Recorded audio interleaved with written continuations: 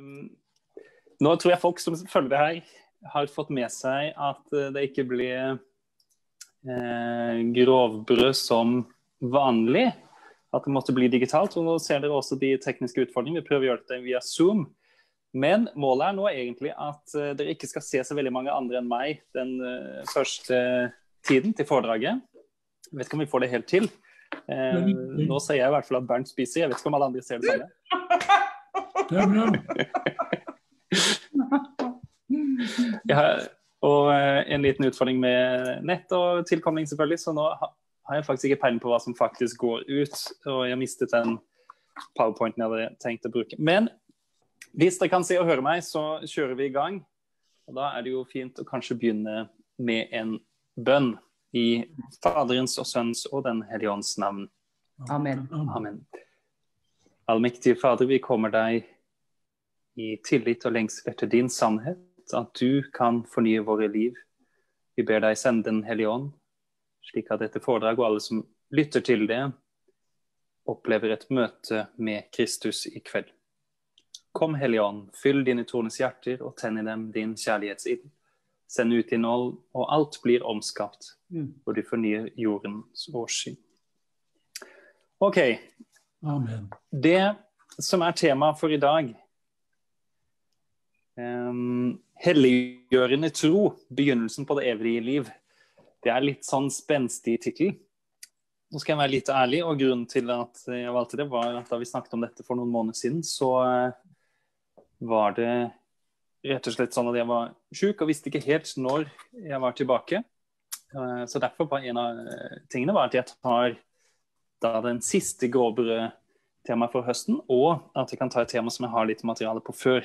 Så dette er egentlig noe som jeg har jobbet med litt gjennom studiet. Dette er delvis basert på min avgangsoppgave på studiet.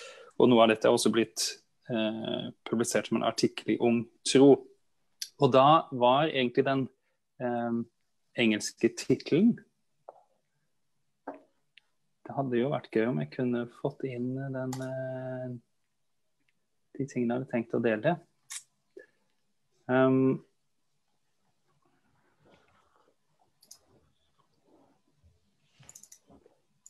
Den engelske tittelen var uh, 'Christian Perfection as the Beginning of Eternal Life in St. Thomas Aquinas and St. John of the Cross'. Det er jo en litt lang tittel. Uh, oversatt til norsk så hadde jeg lyst til å si 'Kristen perfeksjon som begynnelsen på det evige liv'.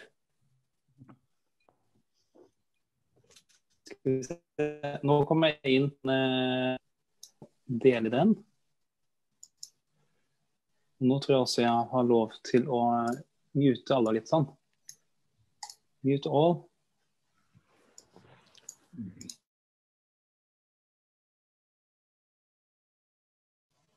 OK. Da håper jeg at det dere ser og hører, er meg og et bilde på en skjerm. Um, så denne tittelen her er jo litt krevende på norsk.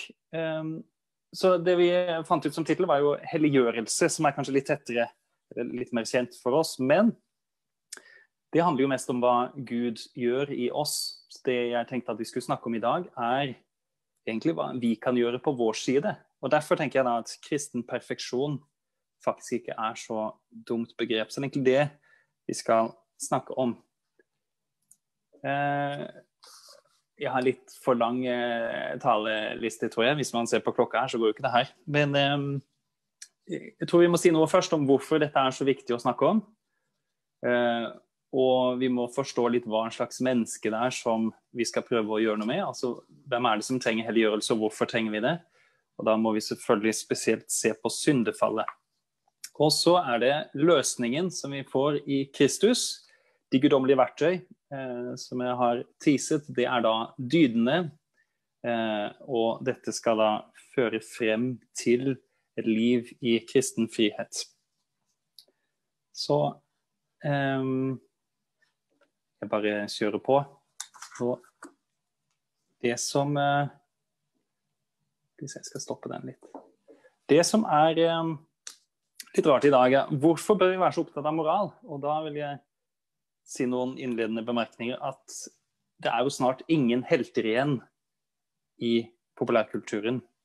Målet er jo nesten alltid å på en måte grave dypere i de mørke sidene, sånn at vi med våre svakheter tross alt ikke trenger å ha så dårlig samvittighet for ikke å nå opp. For alle kanter så hamres det inn at vi bare blir syke av å ha personlige ambisjoner eller prøve å strekke oss etter noe. Men paradoksalt nok så tror jeg aldri det har vært så mange som vokser opp med usunne idealer og så mye følelse av utilstrekkelighet. For er det ikke litt hyklerisk å si det at falske idoler om kroppen og andre former for overfladisk oppmerksomhet, det kan vi hylle. Men dette å løfte frem god moral, det er liksom forbudt. Dette tror jeg er en slags frukt, flukt fra en uh, uro som stikker litt dypere i oss. Vi har kanskje glemt at det er frelse. Og for å takle hverdagen så fornekter vi at det finnes noe problem. Um, vi har kanskje alle hørt om kallet til hellighet. Men vi orker ikke bryet, eller vi skjønner ikke hvor sårt hver enkelt av oss egentlig trenger helliggjørelse. Og den aller største fienden er kanskje relativisme. Det handler om at hvis alt, så lenge det føles riktig for deg, så må jo det være greit. Da skal ikke vi blande oss opp i hva du gjør. Men hvorfor er det så mange relativister? Noen vil kanskje si at det er jo rett og slett fordi man alle vil være snille. Det er ingen som ønsker å være en sånn drittsekk som sier at 'jeg har rett og du tar feil'. Og Derfor kan vi heller bare være enige om at alt er greit, så slipper det å bli så ubehagelig. Det handler om at hvis alt, Så lenge det føles riktig for deg, så må jo det være greit. Nå er det noen som har Nå hører jeg repeat på meg selv. Um, jeg skal mute der. Og så har vi et samfunn som har um, omdefinert toleranse. Sånn at det ikke lenger handler om å tåle å være uenig, men det er rett og slett uenighet. Og at man ikke kan ta feil, eller man kan ikke tillate at andre mener noe annet om noe som helst. Og da er det jo ikke så lett. Da er det i hvert fall ingen som har lyst til å si at noe om hvordan andre skal leve.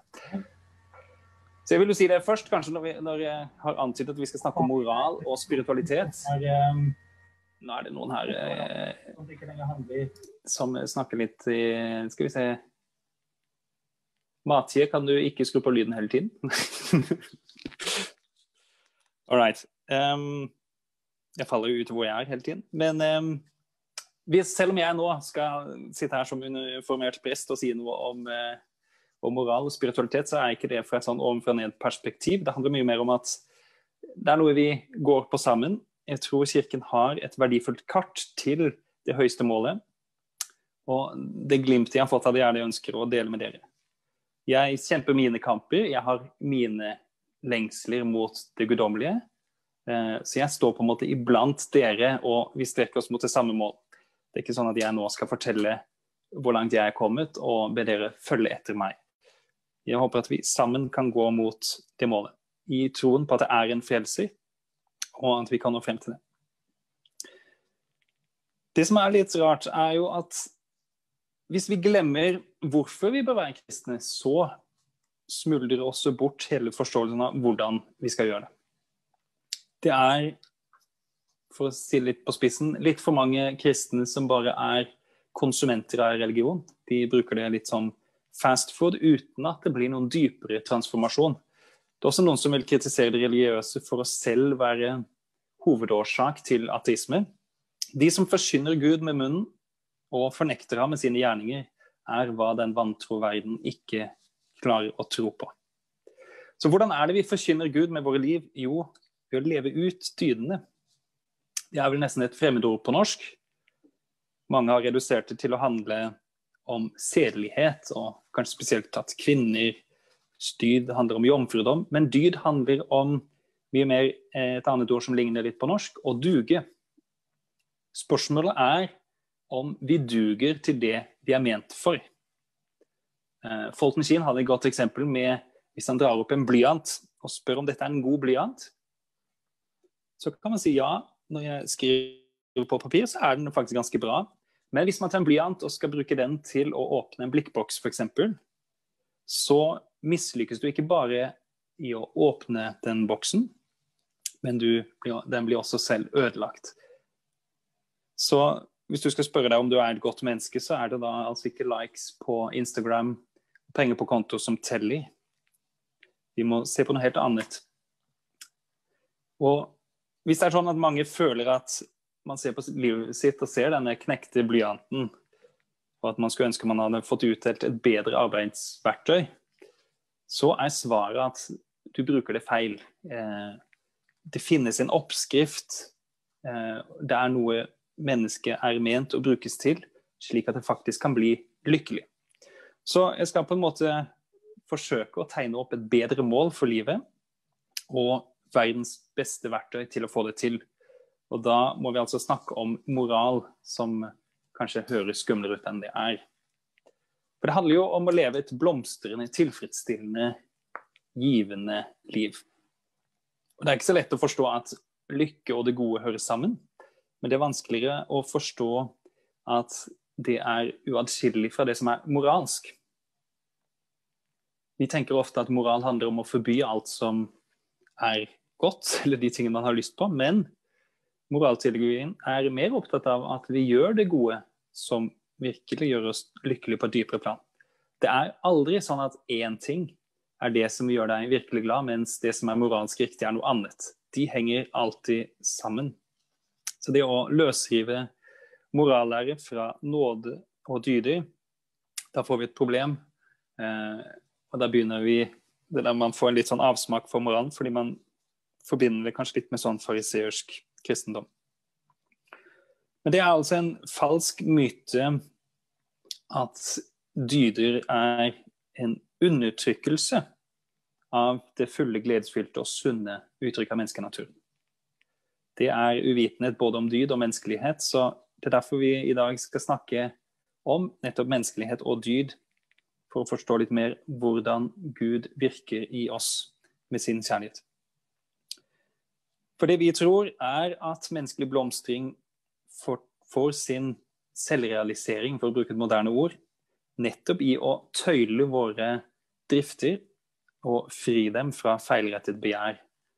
Da er det vi åpner en salig vandring med Gud som lar oss forbli i sann frihet. Det aller første vi hører i Lukasevangeliet, som blir sagt, er eh, englene som kommer til Maria. og da bruker hun, eh, eller Engelen bruker ordene 'gled deg'. Det er også de samme ordene på gresk 'chairete', som er Jesu første hilsen til kvinnene ved graven.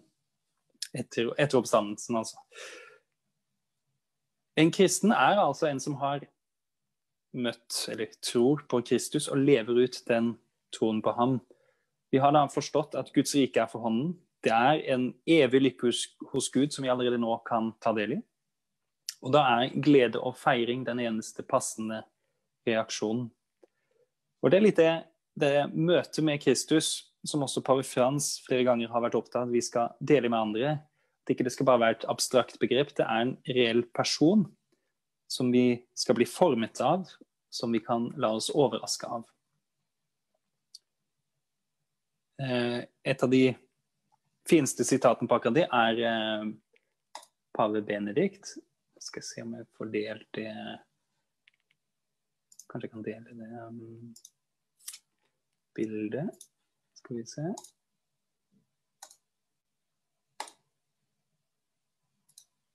Ser dere noe nå? Ja. Jeg tror det er um, Pave Benedikt sier Dette er da til verdensområdsdagene i 2005.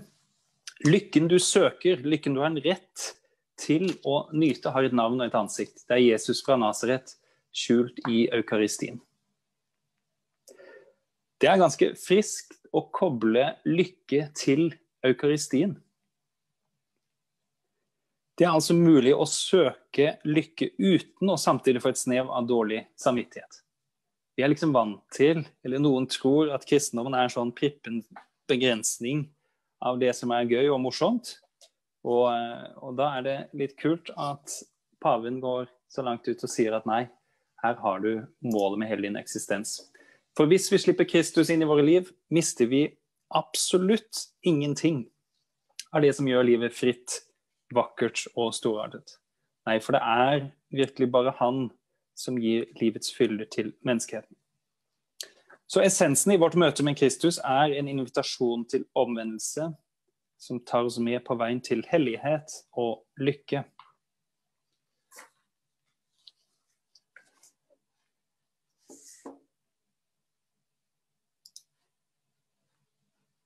Skal vi se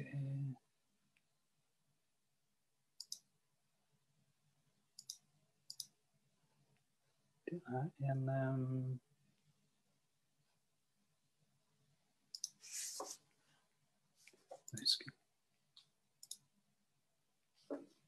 Det som er Nå kommer det et litt langt sitat, jeg bare lar det ligge der en stund.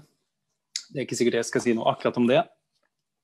Men i all kristen perfeksjon så er det en todelt bevegelse. At vi, hvis vi beveger oss mot Gud, så er det noe som må bli tatt bort. Og karmelittene sier det rett ut. For å bli et guddommeliggjort menneske som elsker Gud med hans egen kjærlighet, så må vi gi plass til Gud selv i oss. Hos kirkefedrene så er dette kommer best til uttrykk i ordet som askes og mystikk. Og Da er det kanskje verdt å si at mystikk i en katolsk ordbok ikke handler om at noe er mistenkelig eller uforklarlig, men en direkte opplevelse av det guddommelige. Så hvis dere kommer over noen helgener som kalles mystikere, så er det mer det at de har opplevd noen ekstraordinære religiøse opplevelser. Men askese og mystikk går etter hvert videre i en tredelt fase fra renselse, opplysning og forening. Det er tre etappene hvor man vender om fra sine synder. Um, man blir kjent med evangeliet og utvikler et vennskap med Gud som kan erfares. For Thomas Aquinas og andre klassiske katolske tenkere så er mystikken en naturlig følge av det moralske liv. Det er kronen på verket og nytelsen av de åpenbarte mysterier. Og Spesielt på 1900-tallet og det andre Vatikankonsil så understrekte Kirken at alle er kalt til hellighet. Men det er på en måte blitt til noe litt sånn ekstraordinært og utilgjengelig som vi egentlig best bare kan glemme for å ikke trå feil eller bli innbilske. Det er liksom ikke lenger det normale progresjonen i et nådefylt liv.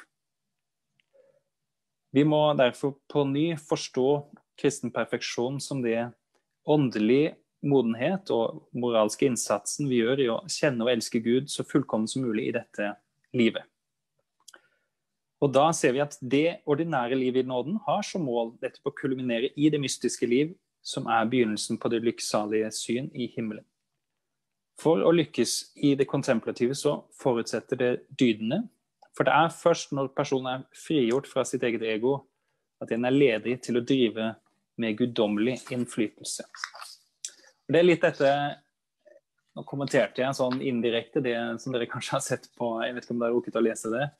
Ehm, men det er en fransk dominikaner, Reginald Garrigou Lagrange, ehm, som eh, har en bok, eh, eller et kapittel som også handler om nettopp det, begynnelsen på det evige liv, eh, er nettopp den syntesen av moral og spiritualitet.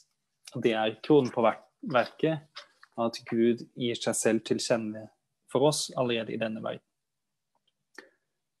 Det som er verdt å tenke på da, er at dette ikke er noe som bare er forbeholdt de få. Dette er noe som alle er kalt til. Eh, Gud kaller oss til å være fullkommen som Faderen. Men fullkommenheten der er ikke den perfeksjon som man tenker på ofte i, i, hverdagen i dag. At mange strever med å på en måte bli nok. Skal vi se. Nå hadde jeg ikke så mye å vise, så da kan jeg liksom gå over til dette.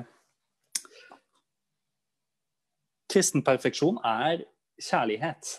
Det er stikkordet og overskriften og underskriften og alt. Det handler lite om prestasjon.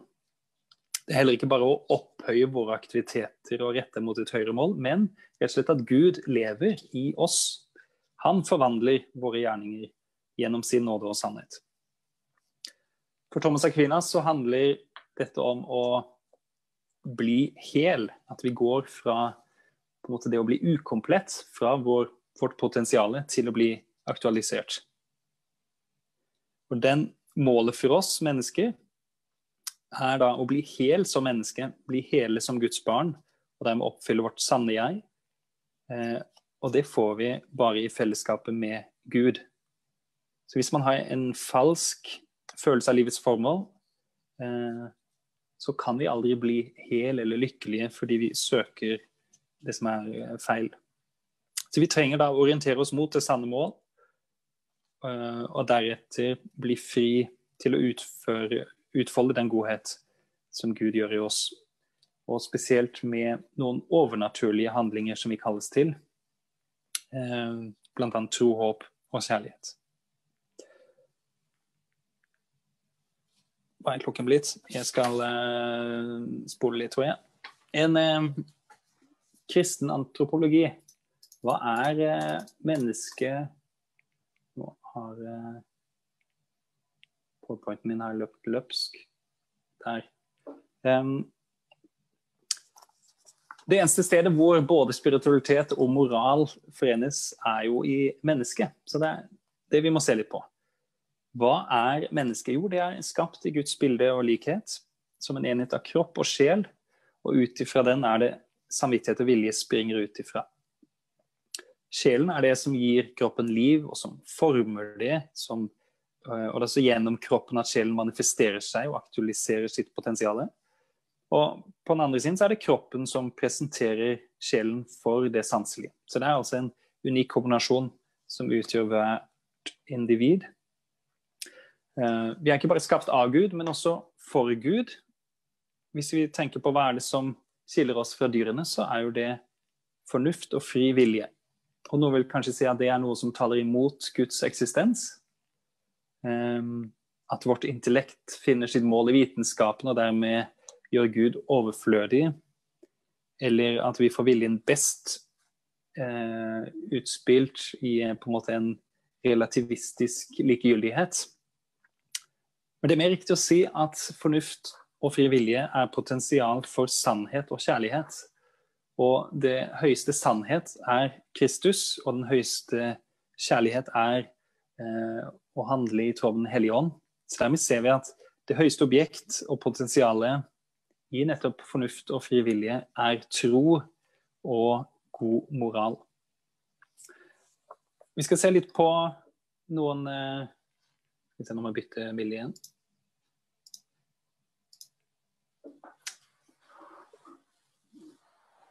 Ja. Hvis vi ser her, hva er Mennesket Mennesker har litt ulike hva skal vi si, krefter. Sjelskrefter er det det snakkes om. Og Hvis vi begynner nedenifra Det er veldig morsomt, for der eh, jeg ser jo noen eh, bilder som kommer opp. Jeg håper ikke dere ser det, men jeg ser jo noen som reiser fra sofaen og litt sånt. Um, lett å bli distrahert på Zoom. Det er mye gøyere å snakke til dere i virkeligheten, så det gleder vi oss til til våren. Hva det skulle si. Eh, mennesker, vi, vi, Hvis vi begynner på bånn her, da, så har vi eh, som planter og dyr mulighet til å ta opp næring, til å beskytte oss selv. Eh, vi har sanser, bevegelse osv.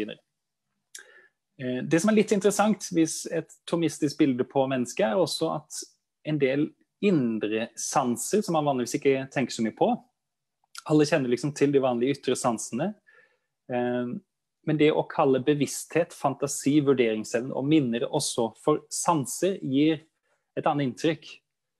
For det er ofte at vi tror at hvis vi tenker noe, så er det på en måte mm, avgjort. Da har vi ikke noe valg eller noe sånt. Men vi må også se våre tanker som et sanseinntrykk. Det er altså en stimuli vi får. Det kan også være at vi har hukommelsen når vi husker på um, vi har sett noe som vi da fantiserer basert på. Og dette er da ikke på en måte um, konkludert Det er ikke våre reaksjoner, det er det som er poenget mitt. Vi har et nivå over som vi kaller lidenskapsen, som er våre reaksjoner på sanser. Og over det igjen så har vi intellekt og frivillig som bestemmer hvordan vi skal handle. Jeg tror litt for mange mennesker på en måte tar våre tanker for gitt og bare sier ja, men da må jeg gjøre sånn, da. Siden jeg tenkte det eller følte det, så er det den absolutte lov. Men nei, det er på en måte et, på et lavere nivå. Da er vi på et dyrisk nivå. Eh, vi har vår evne til å vurdere disse inntrykkene, og dermed treffe en beslutning om hva vi ønsker å gjøre. Så på det, dette nivået her er det Thomas Aquinas snakker om sanseappetitter. Altså det er de kroppslige reaksjonene som De tingene vi oppfatter. Eh, og han skiller mellom to. Dette er kanskje litt detaljert, men det er på en måte den hoveddelen ene er sanselig nytelse, og den andre er si, en styrke eller aggresjon mot det som er krevende godt. Og De to i en vekselvirkning gir en dynamikk som setter oss i bestemte sinnsbevegelser. Um, og nå, hvis vi tenker på hva er den mest grunnleggende lidenskapen? Jo, det er det som trekker oss mot det vi oppfatter som godt. Eh, et annet ord for det er kjærlighet. Skal vi se om det kommer eh. Og det motsatte av kjærlighet er jo hat, som er ment å frastå til oss fra det onde. Og Det jeg prøver å visualisere med disse pilene her, er at i dette bildet så er både hat og kjærlighet godt. Vi skal hate det onde. Vi skal bevege oss vekk fra det onde mot det gode. Så så langt så har eh, altså disse følelsene eh, et positivt mål. Så det er, ikke, det er ikke direkte I utgangspunktet er det ikke noe galt med hat. Det skal vi se etter hvert mer på. Um, så det, vi, det, gode som vi ennå ikke har, det er det vi ser på med lengsel eller kjærlighet. Når vi oppnår det gode, da er det vi blir lykkelige. Og hvis vi ikke oppnår det gode, eller vi eh, heller får det onde, da er det vi sørger. Eh, det er flere avsky, f.eks. Nå hopper jeg litt. Eh, håp er når vi ser noe godt som vi ikke har oppnådd så er det håp noe som setter oss i bevegelse, sånn at vi kan anstrenge oss for å oppnå det. Hvis det er vanskelig, hvis det er noen hindre, eh, eller det er et onde vi kan forhindre, så er det at vi ofte trenger litt mot for å overvinne det. Eh, det motsatte av håp og mot er fortvilelse og Da er det sånn at vi rett og slett har gitt opp, og den oppgivelsen er en tilbaketrekning. og Da er det jo faktisk helt umulig å oppnå målet. Vi har også det som kalles frykt. Um, når vi ser et onde som vi tror vi kan unnslippe, uh, eller et godt som vi da må kjempe litt for, uh, så blir det da er det mot. Um, disse eller hvis det er et onde vi må kjempe for Sinne, ja. OK. Da var jeg i mål, tror jeg. Disse elleve på en måte lidenskapene dekker de fleste nyansene av våre kroppslige drifter. Altså de, alle våre sanseinntrykk kan i stor grad plasseres i dette rommet her. Og hvis kroppen vår fungerer riktig, så er det da alltid rettet mot det gode, og alltid i bevegelse vekk fra det som er ondt. Eh, men så lett er det ikke. Fordi eh, det er noe som kalles syndefallet, som gjør at eh, vi ikke lenger har denne kjærligheten til det gode. Vi kan forveksle det med noe som bare tilsynelatende godt, som egentlig er ondt. Vi begynner å hate og bli sint for noe som egentlig ikke er så galt.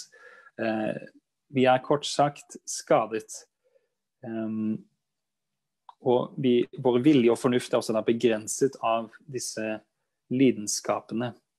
Thomas sier at uh, imago dei, gudsbildet i oss, er da redusert til potensialitet. Uh, ved at sjelskreftene forringer og mister sin naturlige orientering mot dydene. Og han identifiserer på en måte fire sår i menneskenaturen. Det er denne uvitenhetens sår som berøver fornuften fra dens orden mot det som er sant. Hatets sår begrenser viljen fra rettet mot det gode. Svakhetens sår skader vår styrke vanskeligheter, og begjærets sår reduserer vår evne til å moderere våre nytelser. Så her ser vi hvordan den skadende naturen ofte hva skal vi si, vi blir også holdt fast av en misforstått kjærlighet. At vi får ikke til disse helt grunnleggende tingene som skal bevege oss mot det gode.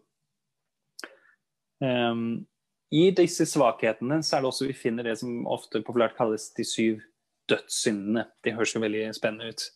Uh, men det er egentlig ikke det at de er så alvorlige at man da fortjener å dø for dem. Men det handler om de dypere disposisjonene. Uh, jeg tror jeg har det nederst her. Uh, hovmod, grådighet, begjær, misunnelse, fråtseri, vrede, åndelig latskap. Poenget er at dette er eh, mer svakheter i vår natur som eh, fungerer som noen knagger vi kan henge andre synder på. Så disse indre disposisjonene som egentlig skulle lede oss til det gode, leder oss til synd og fall. Det vi skulle nyte, ble lidelse og uoppfylt lykke. Eh, og ikke minst har synd medført en barriere av frykt mellom den materielle og åndelige verden, som gjør det veldig vanskelig med Guds vennskap. Heldigvis så har vi en eh, frelser. Skal vi se Der har jeg faktisk ikke noe eh, Nå stopper det bildet litt.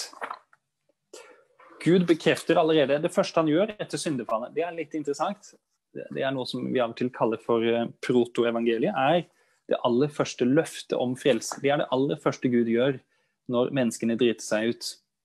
Og han kjenner den falne naturen, forstår at vi trenger undervisning, og det får vi gjennom loven og profetene. Gjennom salmene så trekkes vi da inn i en lengsel etter den rette gudsrelasjonen. Eh, så allerede i Gammeltestamentet ser vi den tendensen til at mennesket blir omformet til gudsbildet. Eh, men det er likevel ikke nok. Den store mesterplanen er eh, å sende sin enbårne sønn for å slik gjenopprette gudsbildet i oss. Thomas Aquinas har en ganske fin beskrivelse av hvorfor Gud måtte bli menneske. Han gjorde det for å utslette synden, eh, slik at vi kunne frastøte det onde og være til eh, å fremme vår godhet. Og da er det tre viktige aspekter ved denne befrielsen. Det er å helbrede oss fra syndens sår. Eh, remedy for our sins det er å gjenreise mennesket til vennskap med Gud, en reparasjon av vårt forhold til Gud. Og tilgodegjøre synden. Det er litt sånn dårlig norsk, kanskje. Eh, satisfaction. Eh, det onde må bli eh, sonet på et vis. Men i samme paragraf så sier Thomas Gaines noen positive aspekter ved Kristi opptak på jorden. At vår tro blir mer sikker når det er nettopp sannheten selv som snakker til oss. Vårt håp stiger når Gud demonstrerer sin kjærlighet til oss ved å dele vår menneskenatur. Eh, og dette oppflammer oss til å elske ham tilbake. Og den usette Gud viser seg i Jesus som et eksempel for menneskene å følge. Eh, og ved hans menneskelighet er det også han overøser oss full deltakelse i det guddommelige. Så her ser vi hvordan Thomas Grinius bruker synden som et motiv eller anledning for inkarnasjon. Men han sier det endelige målet strekker seg mye lenger enn det. For det strekker seg inn til herligheten selv. Gud åpenbarte sin vilje først og fremst for å åpenbare seg selv, slik at vi kunne bli kjent med ham. Han ønsker å være nær oss fordi han elsker oss, og han sender sin sønn for å plante frø til det evige liv i oss. I katekismen så finner dere et veldig fint sitat av Johannes av som sier at det er ved å gi sin sønn hans eneste ord at Gud har sagt oss alt. På én en eneste gang og med ett eneste ord så har han ikke noe mer å si. Jeg synes Det høres litt rart ut å si at Gud ikke har mer å si. Han har jo uendelig mye mer å si. Men poenget er at Kristus er ordet, fylden av Gud. Noe av det Jesus bringer, er forståelsen av at synd ikke bare handler om ytre handlinger, men det er en, en indre handling. Noen vil si at det høres enklere ut uh, å bare elske. Uh, noen vil si at det gjør det til en større byrde, for det er jo umulig. Men der er det Jesus er opptatt av å forklare lovens sanne ånd. Vi tror at Gamletestamentet, loven og alt det er godt og vender oss mot Kristus, men det er ikke tilstrekkelig for frelsen. For det er bare gjennom Kristus at vi ikke bare får en sånn barnepedagogikk fra Gamle testamentet, men vi blir trukket inn i perfeksjonens lov. Ehm, det er også en del av profetiene. Jeg legger min lov i deres sinn og skriver den i deres hjerter. Jeg vil være deres Gud, og de skal være mitt folk. Eh, Bl.a. Jeremia og Hebreabrevet. Så på en måte så høres det jo så fint ut at Kristus har frelst oss. Nå trenger vi ikke lenger bry oss om loven. Men samtidig så kjenner vi oss igjen, som Paulus også sier, at vi, vi er jo ikke i stand til å gjøre det gode vi vet vi burde gjøre. Viljen strekker oss i ulike retninger, og selv når vi gjør ting som er godt, så kan vi gjøre, være at vi gjør det for feil hensikt. Kanskje vi gjør det for oppmerksomheten, eller eh, sånn, eh, for å være martyrer, eller jeg vet ikke. Så vi har mye å jobbe med. Men noe av hensikten er å unngå å leve bortkastet eller til og med destruktive liv. Så selv om det vi skal snakke om er egentlig ganske hardt arbeid, men målet er positivt. Vi skal bruke våre menneskelige handlinger, våre livsverktøy, men Gud gjør disse handlingene overnaturlige. Han legger overnaturlige verktøy i våre hender. Da har jeg, tror jeg, en eh, Det ligner litt på eh, kanskje det jeg viste for ikke så lenge siden. En eh, Skal vi se om den kom her.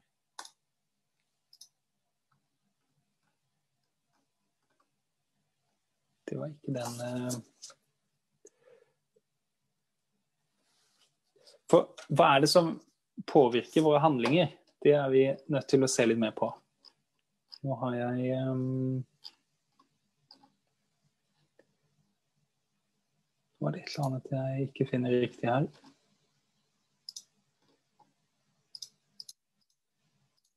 Ja, glem det. Da, da blir det um,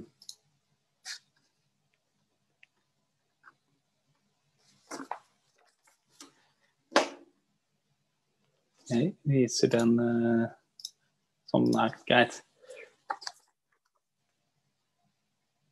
Dette ble ikke, det var ikke den jeg hadde tenkt å vise, men eh, cirka. Jeg hadde en litt enklere modell.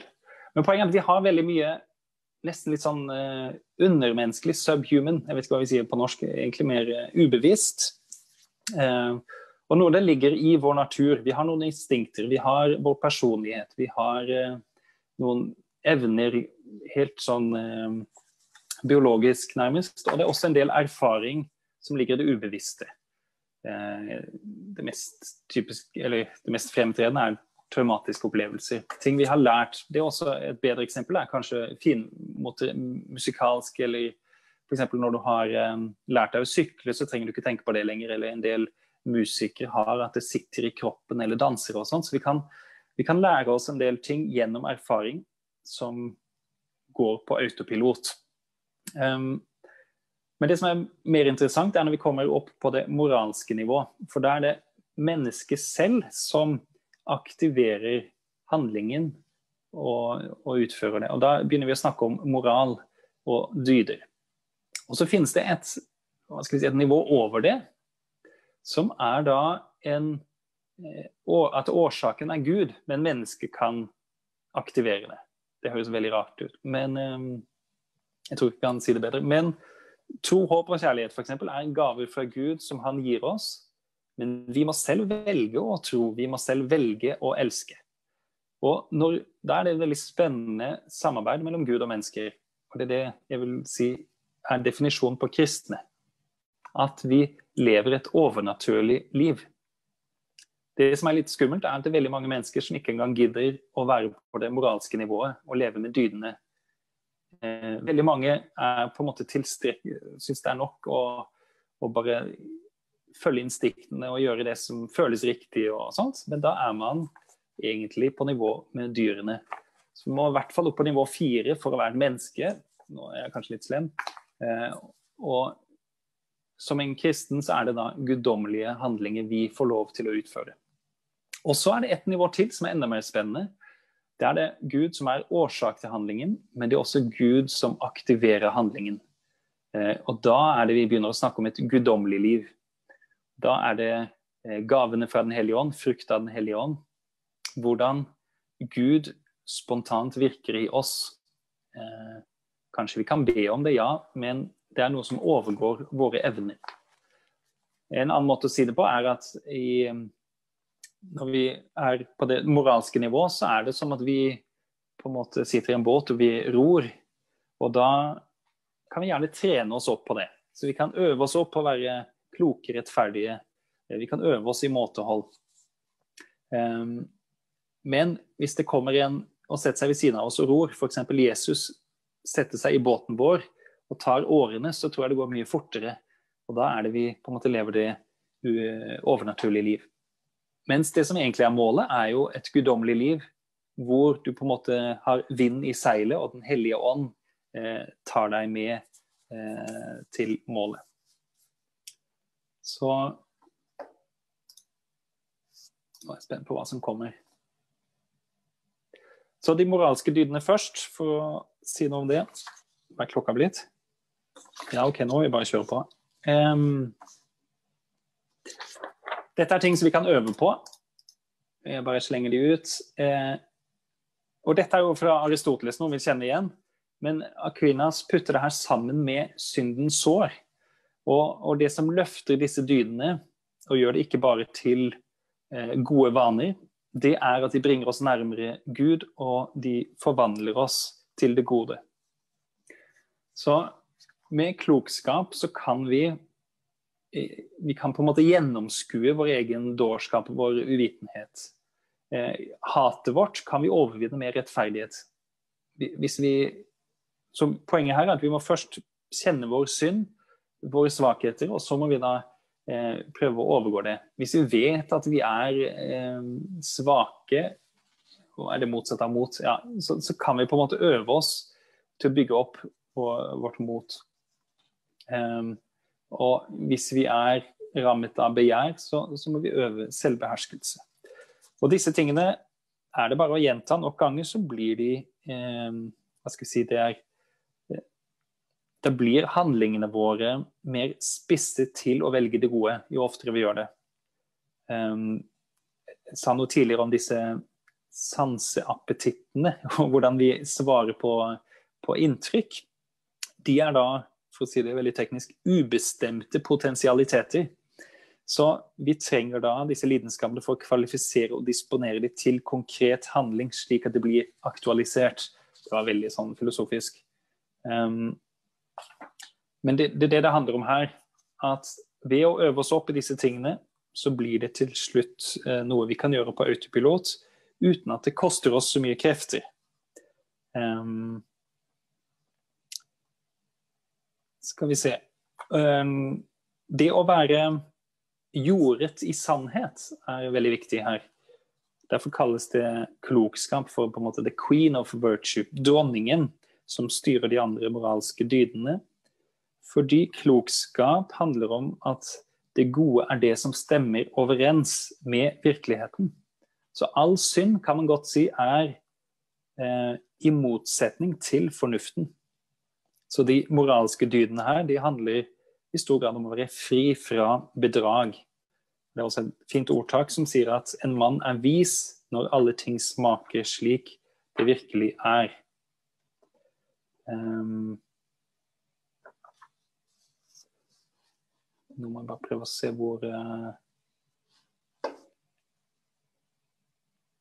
Hvor vi er. Um, men vi er jo ikke bare ment til å leve gode eller suksessfylte liv. Vi er kalt til en lykke å delta i Guds eget liv. Jeg skal bare løpe litt videre,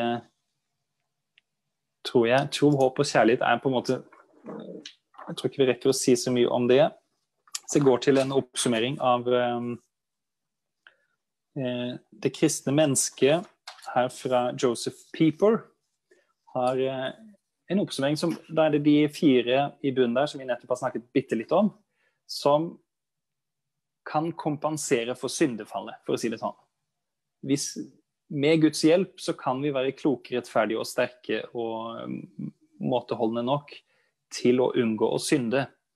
Eh, men da trenger vi mye av Guds hjelp. Men som sagt så er jo ikke det målet. Målet er jo det guddommelige liv, og derfor trenger vi også tro, håp og kjærlighet.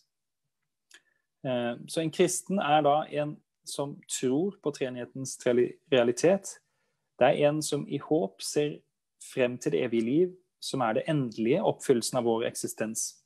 Den kristne vender seg mot Gud og mennesket med en kjærlighet som er sterkere enn noe annen lidenskap. Med klokskap handler den kristne ut ifra fornuften, og vil ikke la virkelighetsoppfatningen bli formørket og anskilt fra sannheten. Det var det vi nettopp snakket litt om. Den kristne er rettferdig i den grad kjærlighet og sannhet er integrert og rettet mot det felles gode. En kristen har styrke til å utholde vanskeligheter, standhaftighet til å gjøre det gode, og om nødvendig være beredt til å gå i døden for rettferdigheten og sannheten den tror på. Og det kristne mennesket modererer begjær og nytelse med måtehold for å ikke la lidenskapene overstyre fornuften og den frie viljen. Så det viktigste her I stad hørte dere at klokskap er det viktigste, men ut ifra disse her, så er eh, i kristen kontekst så sier vi ofte at kjærligheten er størst av alt. Troen er jo begynnelsen. Det er det som eh, bygger vår relasjon til Gud, som er starten på denne reisen. Men eh, både årsak og mål er kjærligheten. Um, Thomas Greenhouse beskriver kjærligheten som nettopp dette vennskapet med Gud som er inngitt av Den hellige ånd. Uh, det er altså en gave. På engelsk bruker de ordet 'infused virtue'. Altså det er noe som Gud har inngitt i oss. Det kunne vi på en måte finne på. Eller vi kan ikke bare tvinge oss selv til å gjøre det. Det er noe overnaturlig som drar oss oppover Um, og det er da ikke en tilnærming av kroppslige skritt, men av sinnets affeksjon, sier han litt sånn poetisk. Så gjennom å lese Bibelen, um, meditere og samtale med Gud i bønn, så vokser vi i kjennskap til sannhet og kjærlighet til Gud. Det er dette vennskapet som blir mer åpenbart det vi trenger renselse og opprustning av våre dyder. Um, Nå mangler jeg et ark her om eh, Jeg tror jeg hadde noe mer jeg skulle si om kjærligheten. Um, jo Så jeg sa noe om at vi skal gjenta um, på om jeg har noe spennende her. Ja, nåde bygger på natur. Jeg kan la den ligge litt mens jeg snakker videre. Et godt bilde på hvordan skal vi øke vår kjærlighet? Er det da i antall mennesker vi hjelper? Er det i hvor mye kollekt vi gir? Er det, vi gir til de fattige? Er det målestokken for vår kjærlighet? Um, det er veldig vanskelig å kvantifisere, eller kvali, uh, verken kvalitet eller kvantitet er vanskelig å, er så lett å måle. Så vi må da øke vår kjærlighet med å intensivere den. Og det som er da um, Ja, fortsatt ikke det riktige arket foran meg. Um,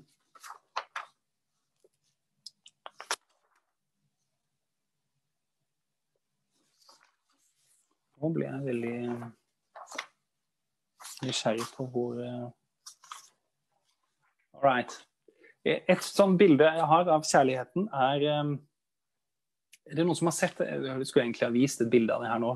Noen som har sett et sånt bilde av eh, hvordan lyd visualiseres med et sånn eh, lydnivå med noen eh, Ja, man ser utslag jo høyere volum det er. Og så er det på noen sånne så er det øverst en rød markør som dytter seg opp, som viser at den er piket på et nivå. Um, jeg kan stoppe denne litt, så ser dere meg. Uh, og så ser jeg for meg da at jo hver gang vi elsker, så er det akkurat som lydnivået går litt opp. Og så dytter man den røde peak-markøren litt oppover. At vi strekker oss litt ekstra. Um, og, men så ser jeg for meg at den der røde markøren den henger litt på toppen der. da. Eh, så etter at vi har gjort en kjærlighetsgjerning, så, så vår kapasitet til å elske holder seg på det nivået. Men hvis ikke vi gjør noe mer, så ser jeg for meg at den kanskje gradvis synker litt. Um, mens hvis vi da gjør noe mer igjen, så dytter vi den litt opp igjen. Um, så vi må på en måte strekke oss i kjærlighet for å intensivere kjærligheten, for å øke lydnivået. Og da øker vi også kapasiteten. Og om ikke vi strekker oss, så er det faktisk en tilbakegang.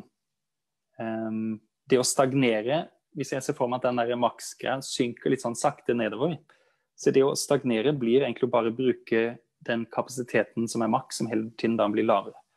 Um, og også syndere og laster trekker liksom ned vår kapasitet til å elske. Så det er en sånn visualisering jeg har da, av at vi kan intensivere kjærligheten med å overgå vår kapasitet, så vil vi da også utvide vår kapasitet. Og eh, hvis det er noen sånne små, gode gjerninger vi gjør uanstrengt, uten at vi på en måte makser i høyden, så ser jeg for meg at man da bygger i, i bredden, eller får en da mer robust kjærlighet, at den kapasiteten synker saktere. Jeg vet ikke om dette var et bilde som, eh, som folk kjente seg igjen i, men for meg var det i hvert fall et litt kult bilde. Jeg skulle gjerne vise dere en sånn lydvolumvisualisering for å vise hvordan det ser ut. Um, så, så, dette med at vi må bruke vår maksimale kapasitet til kjærlighet og overgå den for å øke den, um, da er det vi elsker mer, og vi da hva skal vi si, blir gjenopprettet i vårt gudsbilde. Uh, en, en, definisjon finner vi også i, um, i, evangeliet. Dette med at vi skal elske Gud av hele vårt hjerte, altså gjøre alt for ham av hele vårt sinn. Klarer vi å se verden i troens lys av hele vår sjel? Da kan vi også tenke på de sjelskreftene vi har snakket om, hvordan de kan være rettet mot Gud, og all vår kraft. Hvordan lar vi Gud virkelig manifestere seg i våre gjerninger?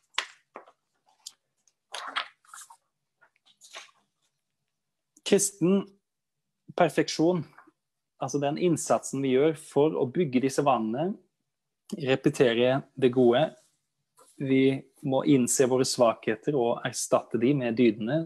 Det er jo Hver messe så begynner vi med å bekjenne våre synder. De er, eh, noen tar kanskje litt lett på det og bare ramser opp til orden, men vi, vi må se de syndefallets sår i oss og se hvordan vi kan kompensere for de eh, med våre liv når vi har på en måte gjort vårt eh, Det er vel et uttrykk på engelsk 'If you do the best, God will do the rest'. Eh, så det er det som er poenget. Vi kan eh, øve oss opp i dydene. Vi kan, eh, vi kan eh, selv bruke de gavene vi har fått av Gud. Tro, håp, kjærlighet, Helligånds gaver. Eh, og da vil Gud svare på det med å gi oss en, en fruktende nå har jeg et annet bilde her jeg godt kan vise. Dette er jo litt sånn Jeg ser for meg det litt sånn dynamisk. At eh, hvis ikke det er noen frukter på treet, så kan man på en måte gå tilbake og se eh, Er det fordi vi ikke har gjort det rette? Mangler vi næring? Eh, og sånne ting. Så, så, vi kan på en måte spore oss tilbake og se hvor gikk det galt. Er det noe som må kuttes ut, kappes ned? Um, er det noe ugress som må bort for at vi skal ta opp næring? Um, så det, for at dette treet skal vokse, så må vi gjøre vårt. Og da er det Gud eh, Gud vil gi vekst i, i vår hva skal vi si, plante. Um, men dette er da en prosess som starter i dåpen og ender i det salige syn i himmelen. Så livet i nåde her på jorden er allerede preludiet til det evige liv, kan man si. For den denne moralske og åndelige progresjonen vi har snakket om, forutsetter herlighetens frø i oss, frø til det vi liv plantet i oss i dåpen. Dydene og impulsene fra Den hellige ånd eh, De innretter våre evner mot ultimate lykke. Og det handler ikke bare om å være samvittighetsfull eller forutsigbar, men å kunne tilpasse oss i nye situasjoner handle spontant i tråd med fornuften. Så de som evner å være kreative i godhet, det er de som virkelig speiler Gud. Så Hvis noen ser for seg kristne som noen sånne regelryttere, så har man misforstått. Her handler det om å i frihet gjøre det som er godt, eh, og respondere på alt mulig som treffer oss i hverdagen. Eh, og som et resultat av det, så er det at hele treenighetens godhet kan faktisk bli representert i det skapte. Guds bilde er til stede i oss. Gud Fader som kilden til vår væren. Jesus er det unnfangede ord som opplyser vårt intellekt og gjør at sjelen bryter ut i hengiven og utgående kjærlighet i Den hellige ånd. Så målet vårt er at vi speiler Gud, og så langt vi kan med vår naturlige evne forstå og elske Gud. Og så har vi den billedlikheten som øker med nåde, hvor mennesket regelmessig forstår og elsker Gud på litt ufullstendig vis, mens det perfekte innsikten i Gud og kjærligheten i Gud, den har vi først i herlighet i himmelen. Eh, men når vi har på en måte oppnådd renselsen, opplysningen og foreningen med Gud, og Gud gir oss noen smakebiter av hvem han egentlig er, som det er vanskelig å sette ord på, da er det vi allerede får, en forsmak på nettopp det salige syn i himmelen. Himmelens salighet er innen rekkevidde. Vi klarer kanskje ikke å innse at mennesket er skapt for Gud, for evigheten, og da blir det vanskelig å orientere vårt liv mot ham. Hvis vi klarer å reorientere oss, eh, så ser vi at den sanne lykke er innen rekkevidde. Når vi vet at vi er på vei mot Gud eller på vei til himmelen, da ligger det også en glede i det. Så det denne pilen jeg viste i stad, at vi, vi, kan være lykkelige når vi har oppnådd det gode. Det er også en, en, tilfredsstillelse i å være på vei dit. En trygghet i det. Eh, og det gir oss en glede som stikker mye dypere enn hva skal vi si, bare en sånn sporadisk avbrekk fra hverdagens lidelser og mas. Um, Gud vet hva vi trenger. Han gir oss ikke bare en liste med hva som er forbudt og hva vi skal gjøre, men inviterer oss til eh, omvendelse og, eh, vandre sammen med ham. Og da er det han forvandler vår sjel til hans likhet. Og da dette å, å føye oss etter Den hellige ånd, da er det Nå skal jeg være litt poetisk her. Da er det akkurat som Gud blåser liv i de latente gavene vi har inni oss, slik at sjelen eh, bader i det guddommelige livs herlighet. Kjærlighetens flamme blusser opp i sjelen. For det er noe med når verken djevelen, verden eller sansene har makt over ånden, så settes fruktene fri. Er det vi får oppleve glede, fred, kjærlighet. Dette er da ting som Det er himmelske goder som er oppnåelig i dette livet, i en sammen, eh, sammenhopning, ja, samvirkning av en perfekt moral og et åndelig liv. Så dette er altså noe vi, vi kan jobbe med, eh, og Gud gir oss som en gave. Og det er også noe med det gleden er overraskende, det er noe vi får ufortjent alt i alt så, så er noen vil kanskje kritisere og si at ja, men dette høres ut som en sånn her at vi må streve for vår helliggjørelse. Men poenget er at det som kommer først, det er ikke det at vi straffes for vår synd og så omvendes og derfor elsker vi Gud. Nei, det er Gud kommer med sin kjærlighet først, og den forvandler oss og lokker oss til å gå videre. Så det er alltid Guds nåde, Guds kjærlighet, som går forut. Eh, og det er bare han som, hans overskytende kjærlighet som kan gjøre opp for vår svakhet. Så på en måte er tro den aksept av den realiteten. Um, at det fører oss til en overgivelse hvor vi istedenfor å Veldig ofte så, så, Hvis noen har opplevd denne gleden i Gud og lever i nåden, så kjenner vi fort at den avtar så fort vi Lurer på om har det uttrykk med at vi sender ut våre begjærlige piler ut i verden. At vi på en måte prøver å beslaglegge ting med vårt ego. Um, men hvis vi heller åpner våre hender og tar imot alt som en gave, så er det mye lettere å opprettholde den gleden. Um, ved at vi lar treenigheten ta bolig i oss, så blir vi i stand til en blomstrende hva skal vi si, hverdagsmystikk. Det er en guddommelig deltakelse som forvandle vår eksistens til tilbedelse og lovsang. Og da blir nemlig våre liv det endelige ord som utbryter at han er kjærlighet. Det er ikke noe objekt eller noe annet mål som er så altomfattende at det makter å forene alle våre menneskelige evner. Så denne harmoniske integreringen er det som gir oss den lykken som bare kan overgås av nettopp bryllupsfesten som vi venter i håp. Noen husker kanskje at vi begynte Grovbrød denne høsten med spørsmålet hva er da et menneske? Og da har jeg nesten lyst til å svare med neste linje fra den salmen, at Gud kjennes ved det. Det er det som gjør oss til mennesker, at Gud har elsket oss først. Eh, det er vårt svar, at vi vedkjenner oss at Gud kjenner oss. Det er begynnelsen på denne helliggjørende reisen. Eh, nå er jeg litt sånn redd for at jeg har gått langt over tiden og vi har mistet folk og sånn, så jeg skal bare si stopp. jeg vet ikke om Kristin, skal du si noen uh, ord? Uh, vi hører deg ikke.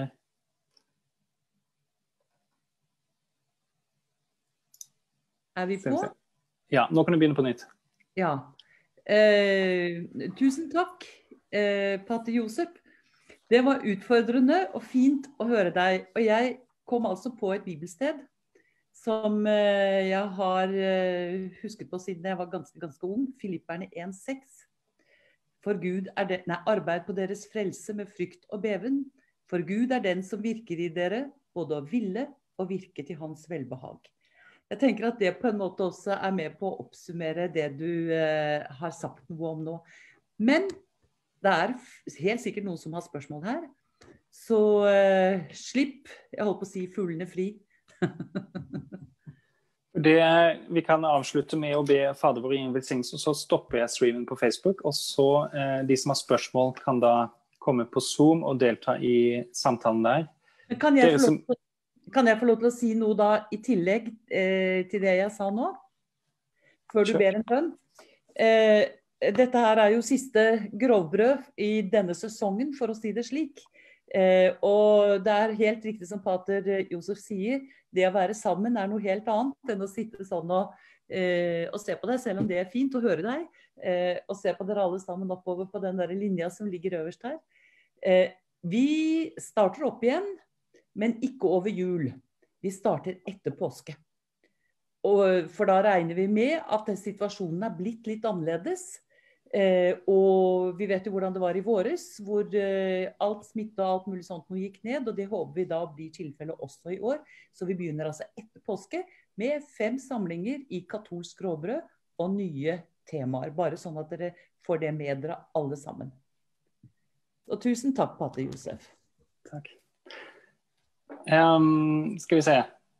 Det, dere som er på, hvis det, er, hvis det, fortsatt er folk som ser oss på Facebook, jeg følger ikke helt med, så jeg vet ikke hva som skjer der ute. Men hvis det er flere som vil høre de resten av kommentarene um, Og skal vi se, nå må jeg bare unmute et par stykker her. Um, hvis det er flere som vil bli med på samtalen, så dere som er på Facebook, dere ser i beskrivelsen, håper jeg, en link dere kan trykke på. Da kommer dere inn på Zoom da kan dere både stille spørsmål og høre de som svarer. Så jeg håper den kunngjøringen kommer frem.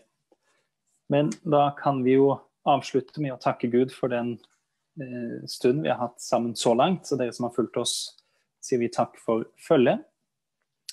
Eh, og vi oppsummerer alle våre bønner og lengsler og intensjoner i den bønnen Herren selv har lært oss. Fader vår, du som er i himmelen. Hellighet vorde ditt navn, komme ditt rike, skje din vilje som i himmelen så på jorden. Gi oss i dag vårt daglige brød, og forlat oss vår skyld som vi òg forlater våre skyldnere. Og led oss ikke inn i fristelse, men fri oss fra det onde. Amen. Herren være med dere, og med din ånd. Den allmektige Gud, Faderen, Sønnen og Den hellige ånd, velsigne og være med dere alle. La oss prise Herren, Gud være lovet. Da skal jeg prøve å stoppe på Facebook.